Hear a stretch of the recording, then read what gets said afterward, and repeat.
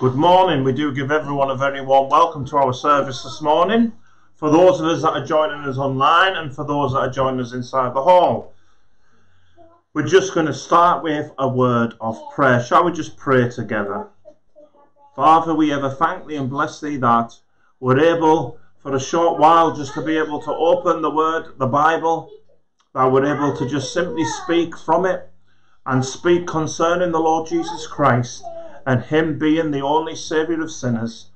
We do just pray, Father, for help to be given as we seek to just simply uplift Him and Him alone. Father, we ever give Thee the utmost thanks in His precious and worthy name. Amen.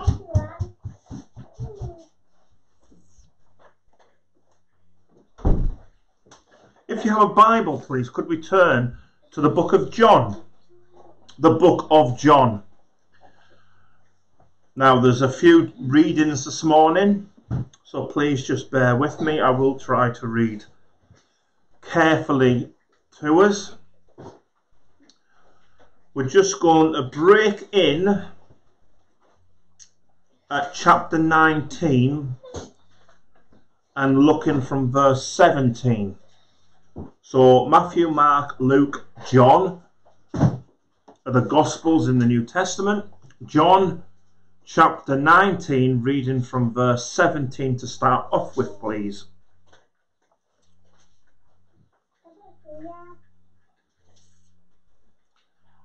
And this is what it would say to us. And he, this is the Lord Jesus, bearing his cross, went forth into a place called the place of the skull, which is called in the Hebrew Golgotha where they crucified him, and two others with him, on either side, one and Jesus in the midst. Go to verse 28. After this, Jesus, knowing that all things were now accomplished, that the scripture might be fulfilled, saith, I first. Now there was set a vessel full of vinegar and they filled a sponge with vinegar and put it upon hyssop and put it to his mouth. And when Jesus therefore had received the vinegar, he said, It is finished. And he bowed his head and gave up the ghost. The Jews therefore, because it was preparation, that bodies should not remain upon the cross on the Sabbath day, for that Sabbath day was a high day, besought Pilate that their legs might be broken that they might be taken away. Then came the soldiers and brake the legs of the first and of the other which was crucified with him. But when they came to Jesus, they saw that he was dead already, and they brake not his legs. But one of the soldiers with a spear pierced his side, and forthwith came there out blood and water. And that he saw it, and that he saw it bear record, and his record is true, and he knoweth that he saith true, that ye might believe. For these things were done that the scripture should be fulfilled. A bone of him shall not be broken. And again another scripture saith, They shall look on him whom they pierced. After this Joseph of Arimathea, being a disciple of Jesus, but secretly, for fear of the Jews, besought Pilate that he might take away the body of Jesus. And Pilate gave him leave. He came therefore and took the body of Jesus. And there came also Nicodemus, which at first came to Jesus by night, and brought a mixture of myrrh and aloes, about a hundred pound weight. Then took they the body of Jesus and wound it in linen clothes with the spices, as the manner of the Jews is to bury. Now in the place where he was crucified there was a garden, and in the garden a new sepulchre, wherein was never man yet laid. There laid they Jesus therefore because of the Jews' preparation day, for the sepulchre was nigh at hand. Going on to chapter 20. The first day of the week cometh Mary Magdalene early, when it was yet dark, unto the sepulchre, and seeth the stone taken away from the sepulchre. Then she runneth and cometh to Simon Peter and to the other disciple whom Jesus loved, and saith unto them, They have taken away the Lord out of the sepulchre, and we know not where they have laid him. Peter therefore went forth, and that other disciple, and came to the sepulchre. So they ran both together, and the other disciple did outrun Peter, and came first to the sepulchre. And he, stooping down and looking in, saw the linen clothes lying, yet went he not in. Then cometh Simon Peter following him, and went into the sepulchre, and seeth the linen clothes lie, and the napkin that was about his head not lying with the linen clothes, but wrapped together in a place by itself. Then went in also that other disciple which came first to the sepulchre, and he saw and believed. For as yet they knew not the scripture that he must rise again from the dead. The disciples went away again unto their own home. But Mary stood without at the sepulchre weeping. And as she wept, she stooped down and looked into the sepulchre, and seeth two angels in white sitting, the one at the head and the other at the feet, where the body of Jesus had lain. And they say unto her, Woman, why weepest thou?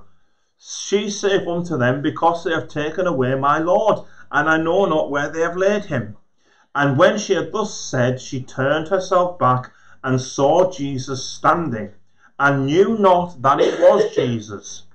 Jesus saith unto her, Woman, why weepest thou? Whom seekest thou? She, supposing him to be the gardener, saith unto him, Sir, if thou have borne him thence, tell me where thou hast laid him, and I will take him away. Jesus saith unto her, Mary. She turned herself and saith unto him, Rabboni, which is to say, Master. Jesus saith unto her, Touch me not, for I am not yet ascended to my Father, but go to my brethren and say unto them, I ascend unto my Father and your Father, and to my God and your God. Mary Magdalene came and told the disciples that she'd seen the Lord and that he'd spoken these things unto her. Then the same day evening, being the first day of the week when the doors were shut, where the disciples were assembled for fear of the Jews, came Jesus and stood in the midst and saith unto them, Peace be unto you. And when he had so said, he showed unto them his hands and his side. Then were the disciples glad when they saw the Lord. Then said Jesus to them, Peace be unto you. As my Father hath sent me, even so send I you. And when he had said this, he breathed on them and saith unto them, Receive ye the Holy Ghost. Whosoever sins ye remit, they are remitted unto them, and whosoever sins ye retain, they are retained. But Thomas, one of the twelve called Didymus, was not with them when Jesus came. The other disciples therefore said unto him, We've seen the Lord. But he said unto them, Except I shall see in his hands the print of the nails, and put my finger into the print of the nails, and thrust my hand into his side, I will not believe. And after eight days again, his disciples were with him, were, were within, and Thomas with them. Then came Jesus, the doors being shut, and stood in the midst, and said, Peace be unto you. Then saith he to Thomas, Reach hither thy finger, and behold my hands. Reach hither thy hand, and thrust it into my side, and be not faithless, but believing. And Thomas answered and said unto him, My Lord and my God. Jesus saith unto him, Thomas, because thou hast seen me, thou hast believed. Blessed are they that have not seen and yet have believed. Many other signs truly did Jesus in the presence of his disciples, which are not written in this book. But these are written, that ye might believe that Jesus Christ is the Son of God, and that believing you may have life through his name. Now we know that God will bless the reading of his precious word to us. I know that was quite long this morning, but it's so difficult to leave anything out. When we think of the Lord Jesus Christ, we think of that one who was that willing sacrifice, that one who was willing to come into this world of ours and to die. And we find here, and we could have read earlier on where Pilate, where he was, and he was shown the Lord Jesus Christ, and of how he could say, I find no fault in this man. Oh, do you know something? There was no fault in him. There was no fault in the Lord Jesus Christ. That is why he could come into this world of ours and die for the sins of the world. That is why, dear friend, none of us here, none of us that live on this earth can save each other. Because we all have sin. And the Bible says, For all have sinned and come short of the glory of God, meaning we cannot reach God's standard. We can do good, we can help one another, we can be kind, we can be just, we can read our Bibles, we can pray, we can do all these different things. All things that are really good and things that we are taught from a young age to be polite and to do the right thing. But these things will never save us because our good and how we look upon ourselves and how other people look upon us, it doesn't matter. What matters is God looking upon us sees us all the same, that we are guilty in His sight. But the wonderful message of God's salvation is this even though we are guilty in His sight, he has provided a way of salvation because the God of heaven loves all. He hates sin. He can have nothing to do with sin. Excuse me. he can have nothing to do with sin. But he loves the sinner. And he loves you and he loves me. And we've read here of the Lord Jesus Christ being crucified on Calvary's cross. and we read of how he said those wonderful words It is finished. In verse 30 of chapter 19, it is finished. Now, that wasn't, dear friend, that his life was over. But it was that the work he came to do was complete. It was finished. What he came to do was complete. He'd finished the work. What does that mean? It means everything has been completed that we can know our sins forgiven. Everything has been made right through the Lord Jesus Christ. And with our simple faith and trust and belief in the Lord Jesus. we can be saved.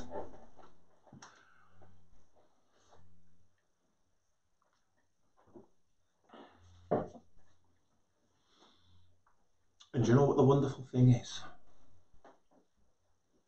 The offer of salvation. God's offer to you and me. It doesn't rely on us. It doesn't rely on what we can do.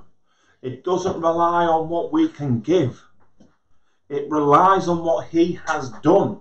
It relies upon what He has finished, what He has completed. It's all to do with the Lord Jesus Christ.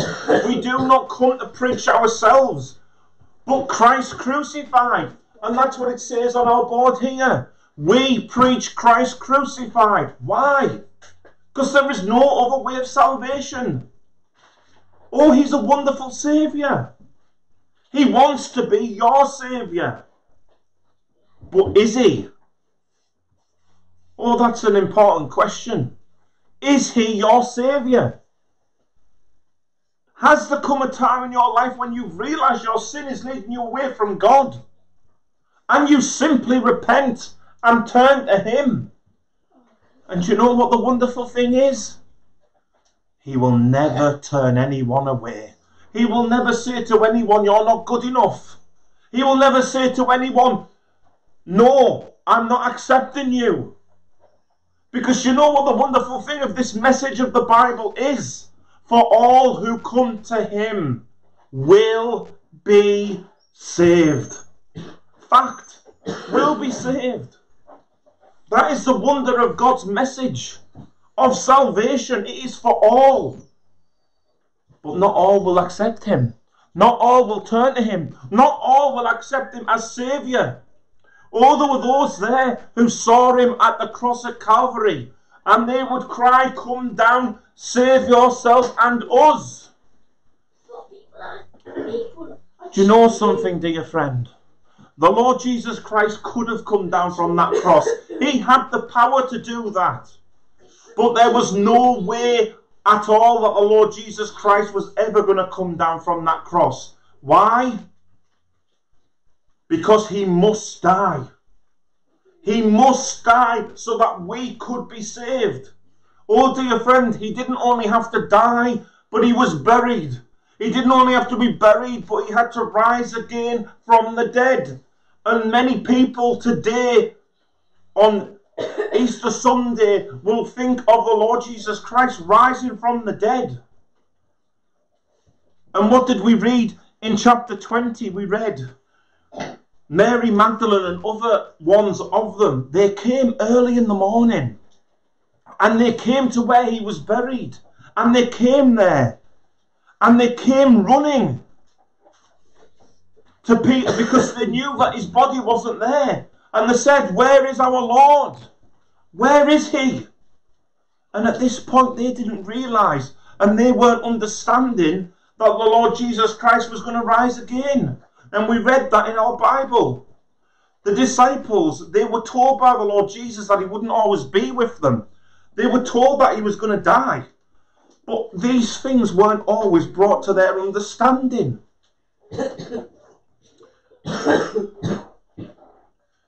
But what do we find? They looked in, and what was there? The linen clothes. Why were they there? Why were the linen clothes lying there? I'll tell you why they were lying there, dear friend, because they weren't needed any longer. Because the Lord Jesus Christ wasn't dead, but the Lord Jesus Christ was alive. And they were wrapped together. But then we read here, don't we, of Mary. Oh, she wept. She wondered where her Lord and Saviour was. She wanted to see him. She wanted to be with him.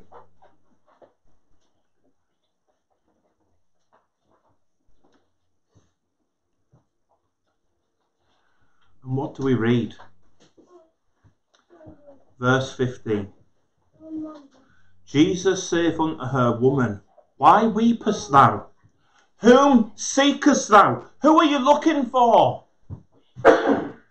She, supposing him to be the gardener, saith unto him, Sir, if thou have borne him hence, tell me where thou hast laid him, and I will take him away.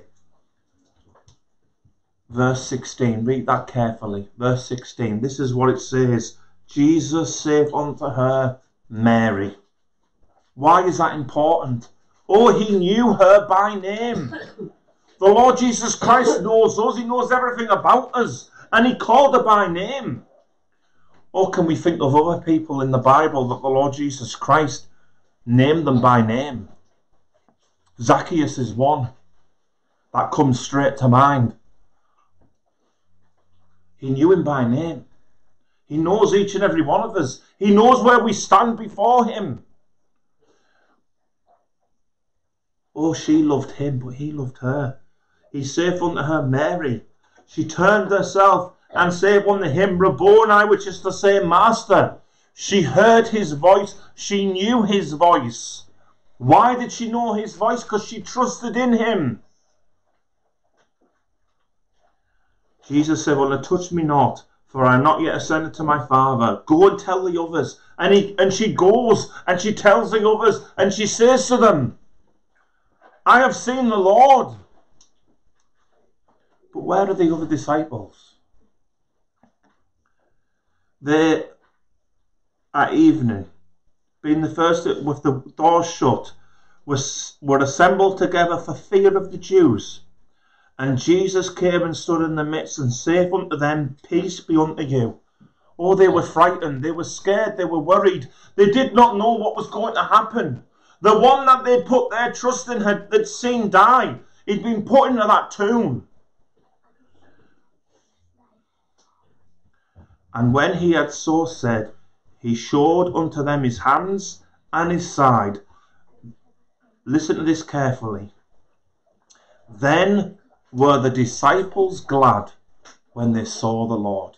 Oh, they rejoiced. The one that they'd seen die on that cross at Calvary, the one that they'd seen put into that tomb, he was alive. And they rejoiced and were glad because they saw the Lord. Oh, dear friend, for when we come to know the Lord Jesus as our Saviour, it is a wonderful thing. Our eyes are open to the wonder and glory of Him. To know our sins forgiven. To rejoice in knowing that He is our Lord and Saviour.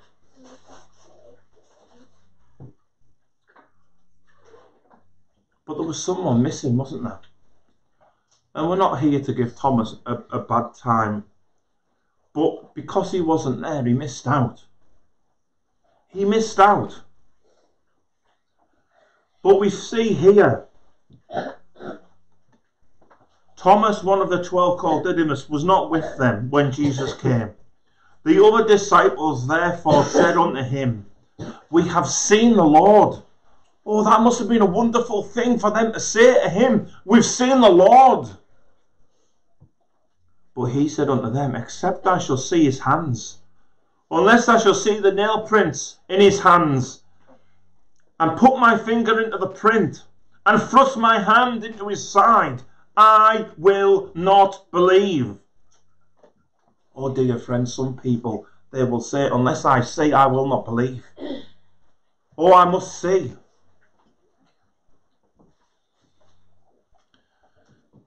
Well, what happens? After eight days again, his disciples were within, and Thomas was with them. Then came Jesus, the doors being shut, and stood in the midst and said, Peace be unto you. Then saith he to Thomas, Reach hither thy finger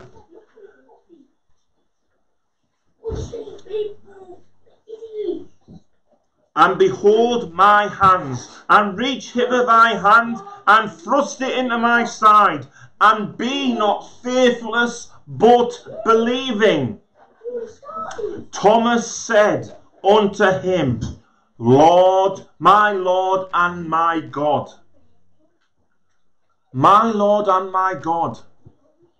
Jesus said unto him, Thomas, because thou hast seen me, thou hast believed. Blessed are they that have not seen and yet have believed. Oh, dear friend, to believe on Him. Oh, we may not have seen Him with these physical eyes of ours, but we've seen Him with the eyes of faith. And He doesn't disappoint. And there are many here, and there are many in this world of ours that can say that they've put their faith and trust in the Lord Jesus Christ and they've come in different ways. They have come and they have come to know the Lord Jesus Christ as a Saviour.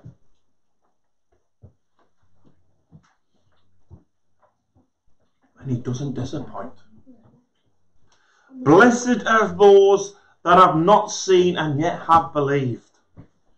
And what do we see at the last verse? In verse 31 But these are written that ye might believe that Jesus is the Christ, the Son of God, and that believing ye might have life through his name. Oh, dear friend, it's all through the Lord Jesus. He's done it all. He's paid the price.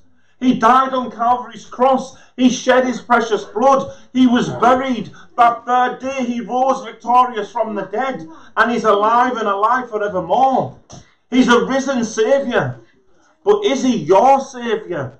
He wants to be. He can be. He will be. But we have to turn to him. Oh, and you know something? All that turn to Him, He will not turn you away. That is a wonderful thing. He doesn't say, You're not good enough. No. He wants all to come, and all that come to Him, He will receive. So, dear friend, what is the more for us to do? Nothing. Because that is what we read in verse 30 of chapter 19. The Lord Jesus said, It is finished. Complete. The work has been done that we can know our sins forgiven. The Lord Jesus Christ has died. The Lord Jesus Christ has been buried. The Lord Jesus Christ has rose victorious from the dead. And because of that, we can have hope. We can have assurance. We can have joy. We can have peace with God. oh, is this not a wonderful Saviour? Is this not a wonderful message? That Christ Jesus came into the world to save sinners. And I know I'm shouting, and I do it often, and I'm sorry. But how can you not shout out? He's alive and alive forevermore.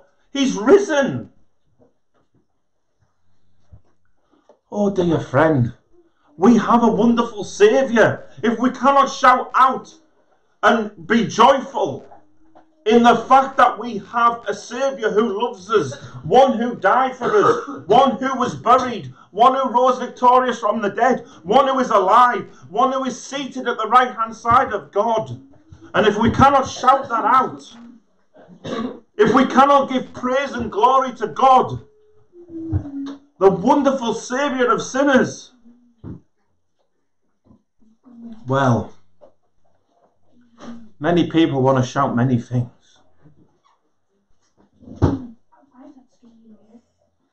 What a wonderful Saviour He is. Do you know something? He loves you.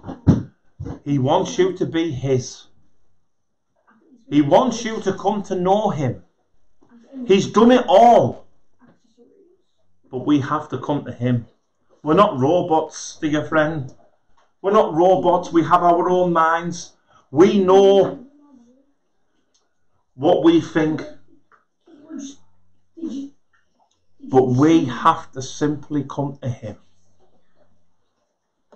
The Lord Jesus will not force Himself on any.